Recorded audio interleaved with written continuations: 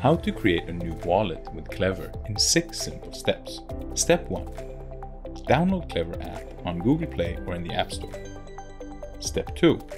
After installing the Klever app, make sure to read the privacy policy. Once done, click Continue. Step 3.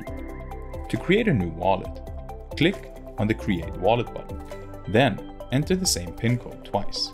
Klever uses your PIN code to encrypt your wallet and to securely generate your 12 word seed phrase and private keys on your local device. Step 4. After confirming your PIN code, you will be directed to a screen that displays the 12 word seed of your wallet. You should clearly write down these 12 words on a piece of paper and store it somewhere safe. You will need the 12 word seed to restore your wallet in case you get a new device. Once you write down the 12 word seed, click I've written it down. Then re-enter the 12 words for security confirmation and click Verify. Step 5. After writing down your 12 word seed, you have to confirm that you understand that if you share your 12 word seed, you are putting your account at risk and that Klever will never ask you to provide your 12 word seed.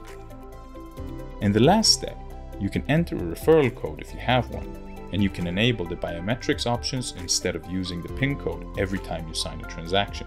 After a successful setup, you will see your portfolio screen. Now, you have a Klever wallet with all major blockchains in one app serving all your crypto needs. An important note never share your 12 words with anyone.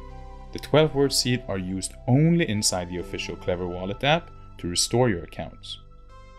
Have a great day and share this with your friends and family.